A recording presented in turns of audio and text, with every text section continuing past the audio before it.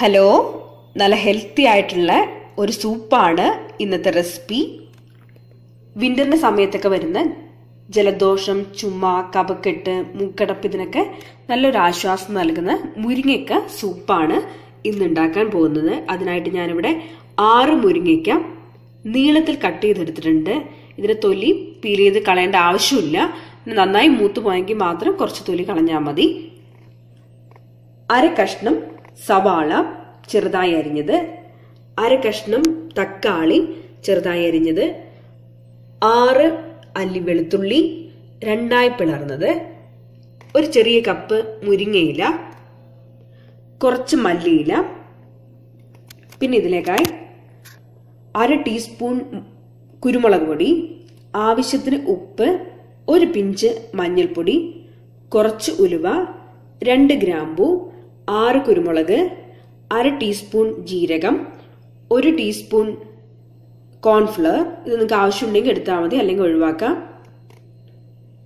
ഒരു table spoon നെയ് പിന്നെ നിങ്ങൾക്ക് എത്ര എമൗണ്ടിൽ സൂപ്പ് ആവശ്യമാണോ അതിനാവശ്യമായിട്ടുള്ള വെള്ളം. അപ്പം ഇത്രയും സാധനങ്ങളാണ് ഇന്നത്തെ നമ്മുടെ ഹെൽത്തി ആയിട്ടുള്ള മുരിങ്ങയ്ക്ക സൂപ്പ് ഉണ്ടാക്കാൻ ആവശ്യമായിട്ടുള്ളത്. ഇനി നമുക്ക് എങ്ങനെയാണ് ഇന്നത്തെ സൂപ്പ് ഉണ്ടാക്കുന്നത് നോക്കാം.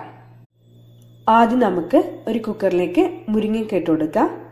ഇനി അതിലേക്ക് നമ്മൾ കട്ട് ചെയ്ത് വെച്ചിരിക്കുന്ന ഒനിയൻ ഇടാം. തക്കാളി ഇട്ട് കൊടുക്കാം. മുരിങ്ങയിലിടാം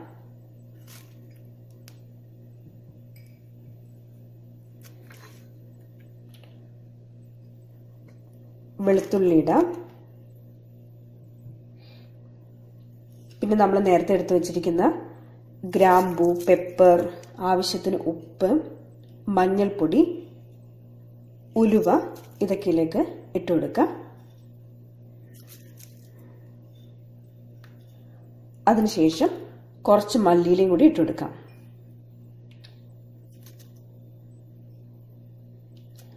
ഇനി ഇതിലേക്ക് നമുക്ക് ആവശ്യമായിട്ടുള്ള എമൗണ്ടിൽ വെള്ളം ഒഴിച്ചെടുക്കാം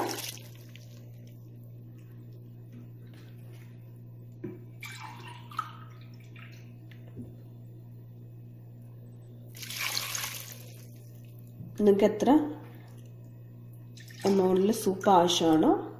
അതിനാവശ്യമായിട്ടുള്ള വെള്ളം ഒഴിച്ചു കൊടുത്താൽ മതി.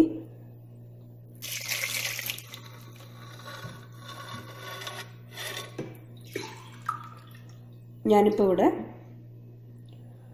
നാല് വലിയ ഗ്ലാസ്സിൽ വെള്ളം ഒഴിച്ചു കൊടുത്തിട്ടുണ്ട്. ഇനി നമുക്ക് ഇതൊന്ന് നന്നായി ഇളക്കി കൊടുത്തതിന് ശേഷം കുക്കർ അടച്ച് അടുപ്പിൽ നമുക്ക് ഒരു രണ്ട് വിസിലിന് വേവിച്ചെടുക്കാം. കുക്കറിൽ നിന്ന് ഗ്യാസ് കംപ്ലീറ്റ് ആയി പോയതിനു ശേഷം നമുക്കിതെല്ലാം ഒരു സ്ട്രെയിനറിലേക്ക് ഒഴിക്കാം.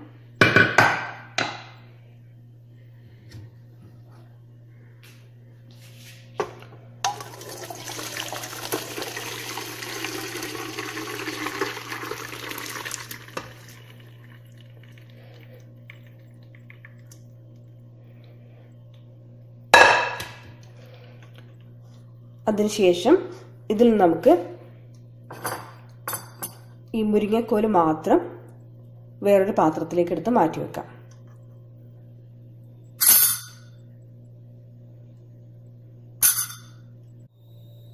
ഇനി ഈ മുരിങ്ങാക്കോലൊന്ന് തണുക്കുമ്പം ഈ മുരിങ്ങാക്കോൽ നമുക്കെടുത്ത് രണ്ടായി കീറി ഇതിൽ നിന്ന് ഈ പൾപ്പ് മാത്രം നമുക്കൊന്ന് വേർതിരിച്ചെടുക്കാം.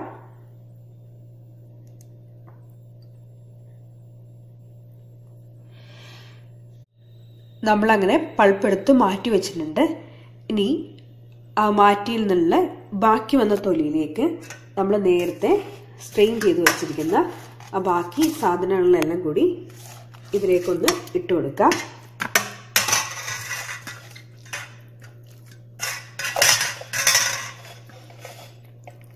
അതിനുശേഷം ഇതിലേക്ക് കുറച്ച് വെള്ളം ഒഴിച്ചു കൊടുക്കാം.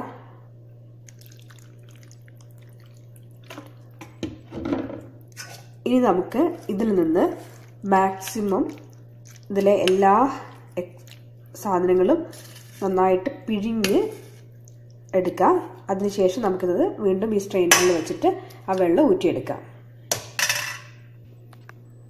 ഇതിലെല്ലാത്തിലും ഉണ്ടായിരുന്നുള്ള ബാക്കിയുള്ള പൾപ്പ് കൂടി നന്നായിട്ട് പിഴിഞ്ഞെടുത്തിട്ടുണ്ട്.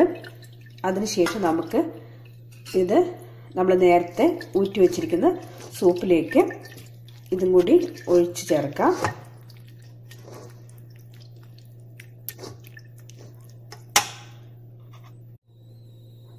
അങ്ങനെ ഒഴിച്ചു വച്ചിരിക്കുന്ന സൂപ്പിലേക്ക് നമ്മളിനി നേരത്തെ എടുത്തു വച്ചിരിക്കുന്ന പൾപ്പ് ഇട്ട് കൊടുക്കാം.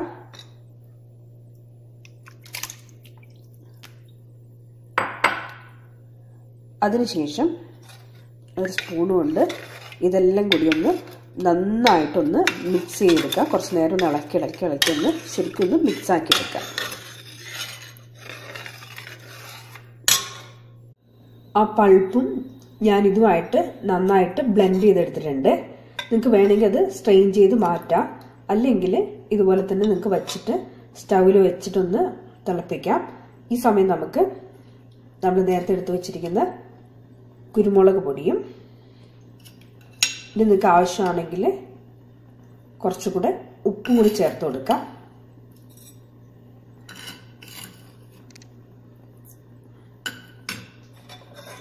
കുരുമുളക് പൊടിയൊക്കെ നിങ്ങളുടെ എരിവിനനുസരിച്ച് ചേർത്താൽ മതി.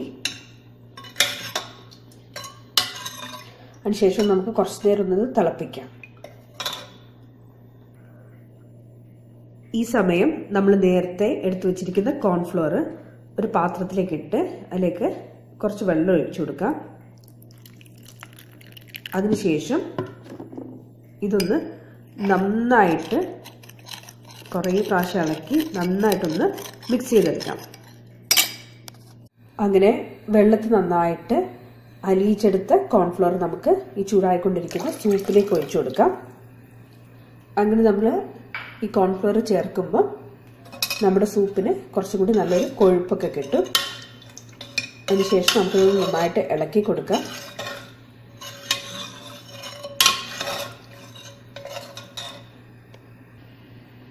നമുക്കിതിങ്ങനെ ഒരു പത്ത് പതിനഞ്ച് മിനിറ്റ് ചെറിയ തീയിൽ നമുക്ക് തിളപ്പിച്ചെടുക്കാം. അതെങ്ങനെ അവിടെ ചൂടാവുമ്പോൾ നമുക്ക് വേറൊരു പാനിൽ ഏകദേശം ഒരു ടേബിൾ സ്പൂൺ നെയ്യ് ഒഴിച്ച് അല്ലെങ്കിൽ നിങ്ങളുടെ ടേസ്റ്റ് അനുസരിച്ച് നെയ്യ് ഒഴിച്ച് നമ്മൾ നേരത്തെ എടുത്ത് വെച്ചിരിക്കുന്ന ജീരകം ഒന്ന് നമുക്കത് മൂപ്പിച്ചെടുക്കാം.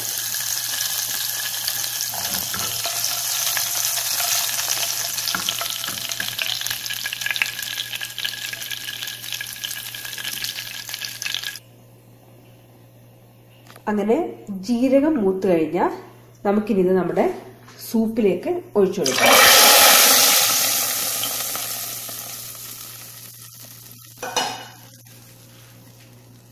ഇതുകൂടി നമുക്കൊന്ന് നന്നായിട്ട് ഇളക്കിയിട്ട് കുറച്ചു നേരം കൂടി ഒന്ന് തിളപ്പിക്കാം.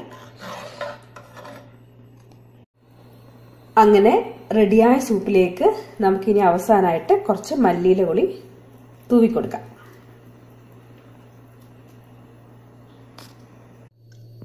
അപ്പം നമ്മുടെ ഹെൽത്തി ആയിട്ടുള്ള മുരിങ്ങക്ക സൂപ്പ് നിങ്ങളും ട്രൈ ചെയ്യുമെന്ന് പ്രതീക്ഷിക്കുന്നു. ഡാർത്രൈറ്റീസിനും ബ്ലഡ് പ്യൂരിഫൈ ചെയ്യാനൊക്കെ നല്ലതാണ്. അതുപോലെ തണുപ്പ് സമയത്ത് പ്രതിരോധ ശക്തിയൊക്കെ കൂട്ടാൻ ഇത് നല്ലതാണ്. അപ്പം നിങ്ങളിതൊന്ന് ട്രൈ ചെയ്ത് നോക്കാം. അപ്പം നമുക്കൊരു പുതിയ വിഭവമായിട്ട് വീണ്ടും കാണാം. അതുവരെ take care bye channel subscribe ചെയ്യാനായി വീഡിയോയുടെ താഴെ ലെഫ്റ്റ് സൈഡിൽ റെഡ് കളറിൽ വരുന്ന സബ്സ്ക്രൈബ് അമർത്തുക. ചാനലിൽ വരുന്ന പുതിയ വീഡിയോസ് അപ്ഡേറ്റ്സായി ലഭിക്കാൻ അതിനുശേഷം റൈറ്റ് സൈഡിൽ വരുന്ന ബെൽ ഐക്കൺ ക്ലിക്ക് ചെയ്യുക.